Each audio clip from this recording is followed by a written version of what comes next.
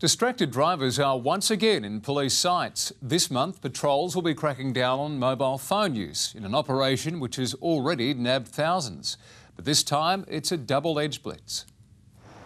A peak hour crackdown on unsuspecting drivers. Nine news cameras captured the sting on motorists using mobiles at Gilberton this morning. Well, frankly, um, using mobile phones would have to be one of the more dangerous things that's happening on our road. And police are focusing on the deadly habit during Operation Distraction this month. Two hands are on the wheel and their mind's on something else. So anything we can do to cut that down is a really good idea. Look, I don't touch the phone while I'm driving, but it certainly would have an impact if I was tempted to, maybe pick up a call or something that might look urgent. I would certainly think twice if I knew that they were looking for that. When run last year, almost 3,000 motorists were caught in just two months. Research shows that using a mobile phone while driving increases the risk of a crash by at least four times. Speed is another major crash factor.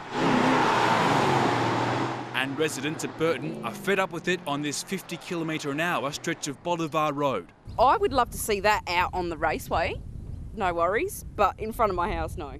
On Saturday afternoon, a 21 year old driver was caught speeding at nearly 150 kilometres an hour, almost three times the speed limit. It's absolutely disgusting. I have. I don't think they have no respect whatsoever, especially when you've got school children coming out of here. The Salisbury man's car has been impounded for a month. Locals now demanding a fixed camera on the road to deter speeding drivers.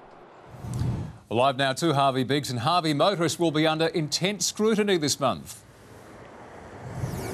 Yeah, that's right, Brenton. Every officer on the beat has been directed as, to target distracted drivers, especially those using mobile phones at intersections and traffic lights. As we know, it's been a horrific start to the year on our roads, and the high road toll is part of the reasoning behind bringing this operation on. It's also why police will be targeting seatbelts this month, particularly in regional areas. One in five people killed on South Australian roads was not wearing a seatbelt. So the message is buckle up and don't use your phone. Brenton? Doing the right thing. Thank you.